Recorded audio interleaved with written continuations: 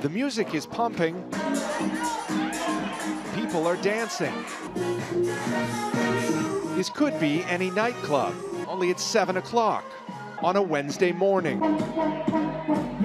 These people aren't winding down their night, they're actually just starting their day.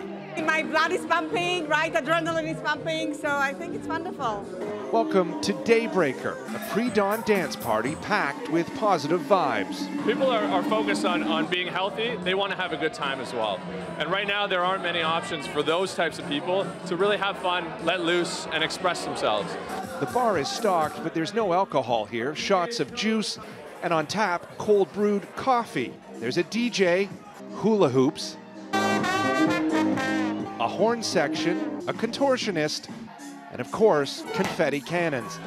Dance parties like this are growing in popularity. Daybreaker began in New York City and is now spread to 15 cities around the globe. It grew out of a frustration around nightlife and how nightlife had gotten sort of overrun by drugs, alcohol, mean bouncers, and digital divides, right? Everyone on their cell phones.